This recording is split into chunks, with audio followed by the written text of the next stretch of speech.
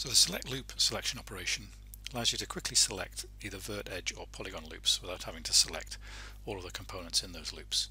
So in this example I have a vertex bevel which is beveling all the verts in the mesh and I have a select by index selection operation here. If I just select two verts to determine the loop and add those and then add a select loop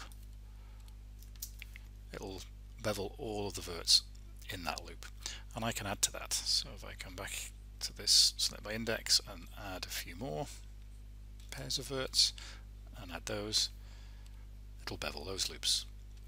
And the same goes for polygons. So I have a polygon bevel here with a select by index. If I select pairs of polygons and add those and then add a select loop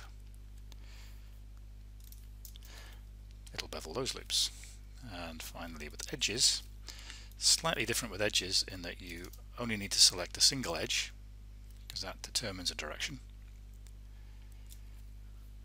I'll add those.